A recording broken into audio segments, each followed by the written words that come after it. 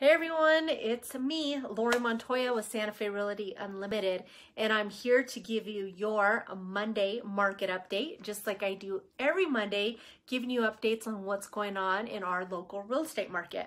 So today is Monday, June 28th, and in the past seven days, we have had 123 properties listed for sale. And out of those properties listed for sale, the average sales price is for $707,764. The medium sales price is going for 400,000 and the highest property or sales price for a property this week is going for a whopping $14,250,000.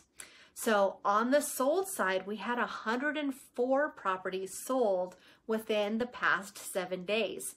Out of those properties sold, the average sold price is for $542,473.